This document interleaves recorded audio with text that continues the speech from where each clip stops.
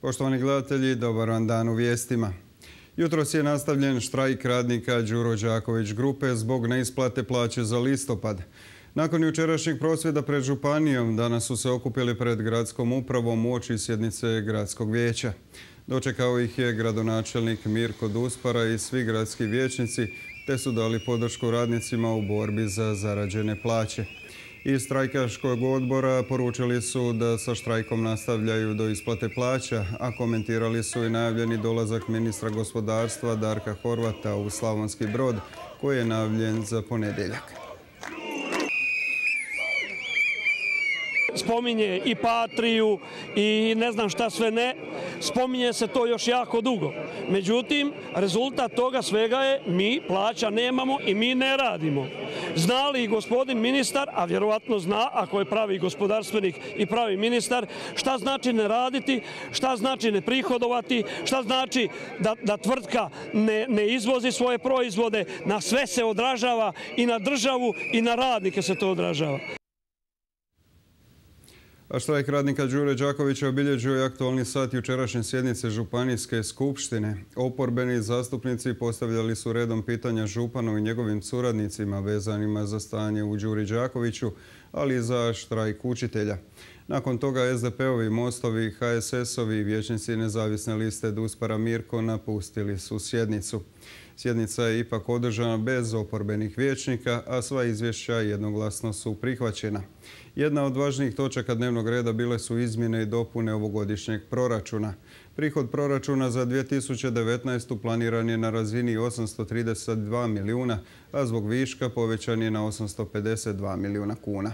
Povećani su i planirani rashodi za dodatnih 8 milijuna kuna predlažem da se dakle, ovaj prvobitni prijedlog odluke poveća i u prihodovnoj i rashodovnoj strani, dakle ponovno se ravnotežuje za 800 tisuća kuna i da nakon rasprave ovakav prijedlog Župana Brodsko-Posavske županije o izmjenama i dopunama proračuna za 2019. godinu prihvatite.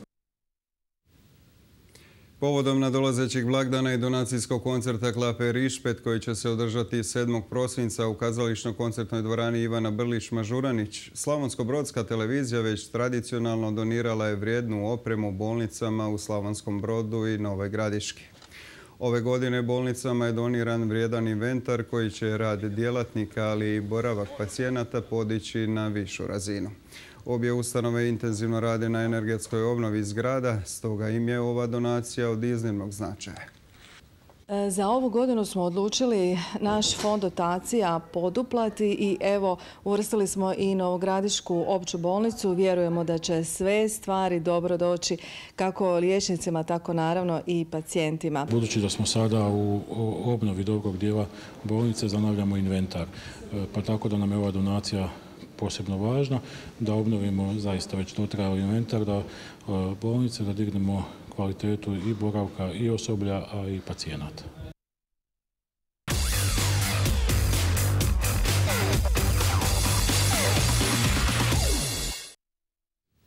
Počela je nova sezona u Brodskoj amaterskoj vaterpolskoj ligi u kojoj se natječe kao i do sada šest klubova.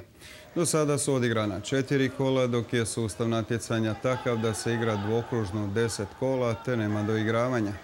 Tako se Liga bliži svojoj polovici, a na vrhu Budainka Dar i Sport Bar imaju tri pobjede i jedan poraz.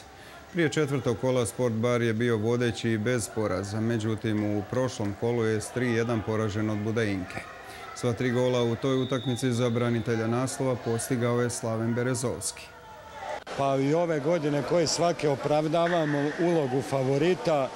Smatram da smo ovaj najjača ekipa, ne možda plivački, ali ne znam, uigran ili tako. Ovaj. Ipak najtrofejnija brodska amaterska ekipa i imali smo kiks na klepetanu ovaj, preko ljeta, tu se nismo pokazali. Prošlo kolo smo izgubili od outsidera, ali evo, u glavnoj utakmici derbi u velike tenzije dominantno smo ovaj savladali protivnika.